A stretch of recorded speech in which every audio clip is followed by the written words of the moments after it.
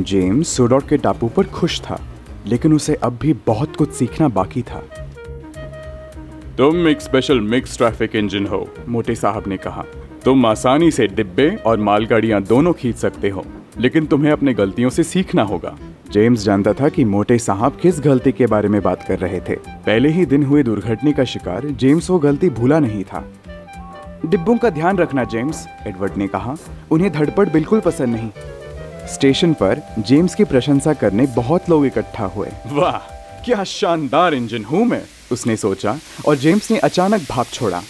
मोटे साहब की जगमगाती नई टोपी पर पानी का बौछार गिर गया।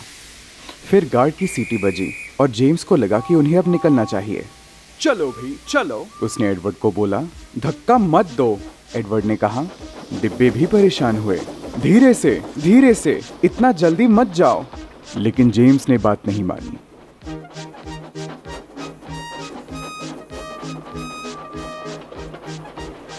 जब वो अगले स्टेशन पहुँचे तो दो डिब्बे प्लेटफॉर्म के आगे चले गए और जेम्स को थोड़ा पीछे जाना पड़ा ताकि यात्रीगण ट्रेन से नीचे उतर सके। मोटे साहब की टोपी के बारे में किसी को पता नहीं चला और जेम्स को थोड़ी राहत मिली।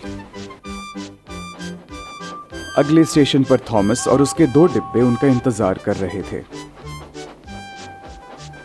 कैसे हो, जेम्स? बोला थॉमस। अब ठीक महसूस कर रहे हो? हाँ बिल्कुल। ओ, वो रही गार्ड की सीटी?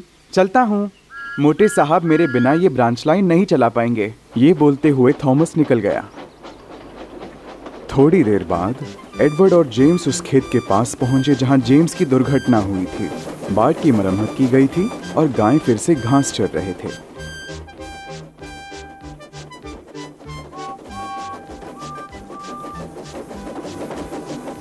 उन्होंने सफ़र खत्म किया और थोड़ी देर आराम करने के बाद घर के लिए निकल पड़े। जेम्स अब भी सोच रहा था कि मोटे साहब उनकी खराब हुई टोपी के बारे में क्या कहेंगे।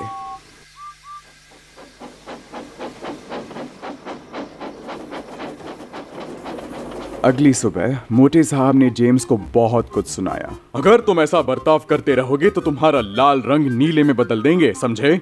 जेम्स को यह बात बिल्कुल पसंद नहीं आई।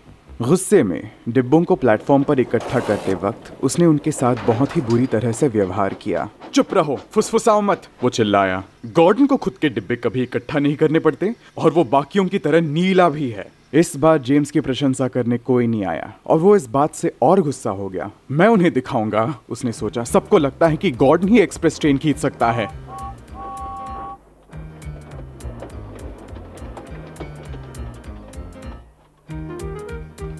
जल्दी जल्दी जल्दी। जेम्स चिल्लाया, तुम बहुत तेज जा रहे हो, तुम बहुत तेज जा रहे हो। डिब्बो ने कहा, लेकिन जेम्स हँसते हुए और तेज़ी से गया।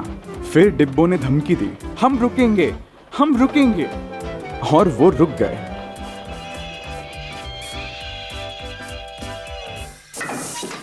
क्या हुआ? जेम्स ने ड्राइवर से पूछा। ब्रेक लगे हुए हैं, लगता है कि पाइप में लीकेज है। तुम्हारी इतनी भागदौड़ के बाद ये तो होना ही था। कैसे ठीक करेंगे इसे? गार्ड ने पूछा। एक अखबार का कागज़ और चमड़ी के फीते के साथ। ड्राइवर ने जवाब दिया। लेकिन ये जूते का फीता मिलेगा कहाँ? गार्ड ने पूछा। यात्रियों से पूछकर देखें, ड्राइवर ने कहा।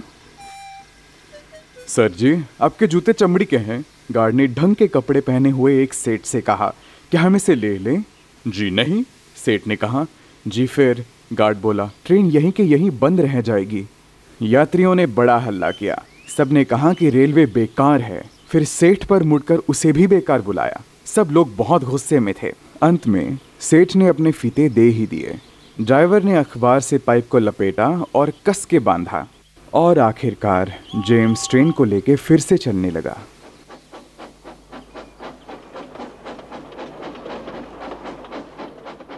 जेम्स ने अपना सबक सीख लिया था। और ये गलती वो फिर से कभी नहीं दोहराता।